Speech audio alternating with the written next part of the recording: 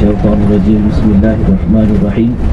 Maka perlu dijelaskan di sini, maka kita lihat apakah pandangan jumhur ulama apakah pandangan jum, jumhur ulama majoriti ulama tentang bertawassul dengan orang yang soleh yang telah meninggal dunia sama ada orang soleh itu adalah di kalangan anbiya Nabi Muhammad SAW, Nabi-Nabi yang lain ataupun kita berjumpa dengan orang yang soleh yang kita yang diakui oleh, oleh ulama akan kewaliannya yang telah meninggal dunia. Adakah ini dibolehkan?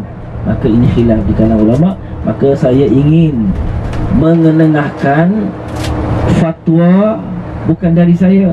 Siapalah saya? Saya kucing kurap saja tak ada apa pun. Tapi saya hanya merujuk kepada ulama. Saya merujuk kepada siapa kepada Darul Ifta Al-Misriyah.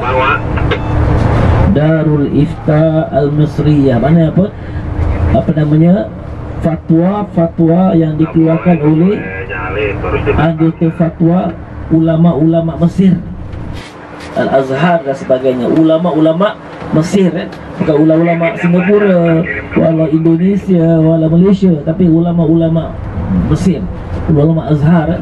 yang mana kita akui keilmuan mereka dan uh, Azhar telah mengeluarkan ribuan apa namanya ulama eh, jadi ulama-ulama Mesir telah mengeluarkan fatwa apabila ditanya uh, apa-apakah pandangan jumhur ulama tentang isu tawassul subhanallah apa namanya uh, Darul Ifta Al-Masri ajma'al ulama ummah min al-madhahib al-arba'ah wa ghairiha ala jawaz واستحباب at-tawassul bin Nabi sallallahu alaihi wasallam wa alihi wasallam fi hayatihi wa ba'da intiqalihi sallallahu alaihi wasallam wa alihi wa alihi wattafaqu ala anna dhalika mashru' qat'an wa la hurma fi artinya para ulama telah sepakat ummah telah sepakat empat-empat mazhab Hanafiyahnya Malikiyahnya Syafi'iyah Hanabila Ulama-ulama kibar.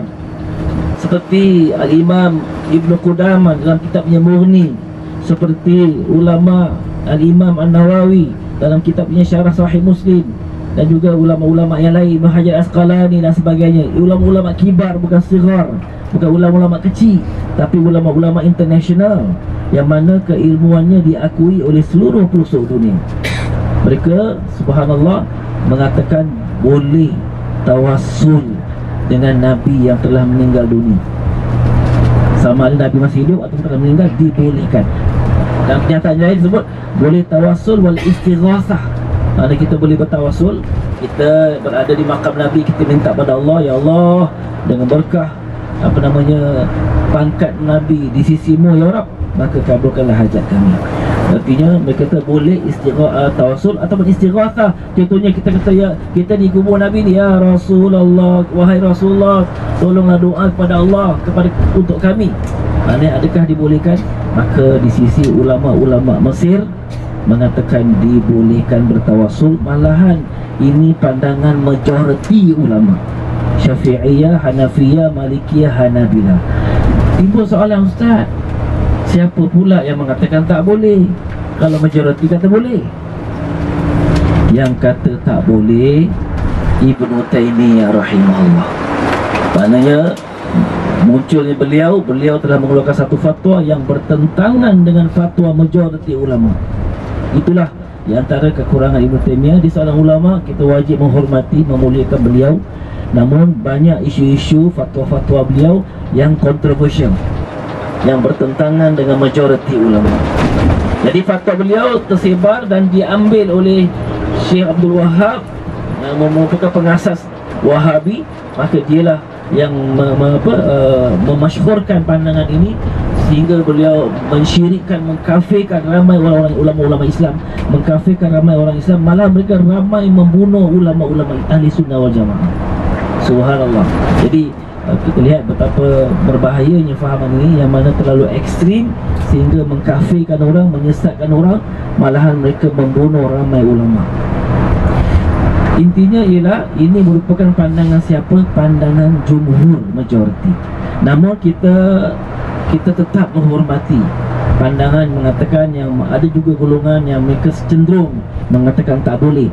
Kita kata itu hak awak untuk memilih pandangan tersebut. Kerana masalah ni khilaf. Walaupun hakikatnya khilaf ini bertentangan dengan pandangan majoriti. Tapi kita tetap menghormati ini khilaf maka kami harap kami menghormati menghormati mereka yang tak nak tawasul dan mereka menghormati kami yang bertawasul walaupun mereka tak nak tawasul. Jangan sampai mengkafirkan menyesatkan dan sebagainya. Padahal pandangan mereka pandangan yang lemah yang minoriti. Ha, jadi kumpulan ni kadang-kadang pelik. Banyak pandangan-pandangan yang lemah yang mereka target mereka mewar-warkan seolah-olah macam itu pandangan majoriti. Ha, jadi kita kena hati-hati.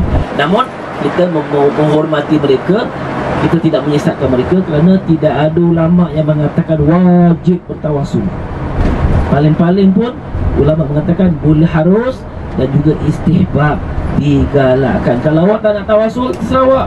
Awak nak doa sendiri langsung pada Allah boleh. Awak nak tak nak jumpa orang soleh yang masih hidup pun boleh juga tidak ada paksaan. Tapi digalakkan supaya mudah-mudahan bila kita minta pada orang yang soleh yang masih hidup dan juga orang yang soleh yang telah meninggal dunia mudah-mudahan Allah kabulkan. Dan ada yang yang mengatakan orang orang yang dah meninggal dah tak ada apa-apa dah tak boleh tak boleh merasakan manfaat dan sebagainya. Oh ini dah alam baik.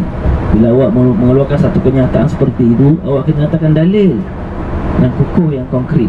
Sedangkan kita lihat banyak riwayat-riwayat menunjukkan bagaimana orang yang telah meninggal dunia hakikatnya hidup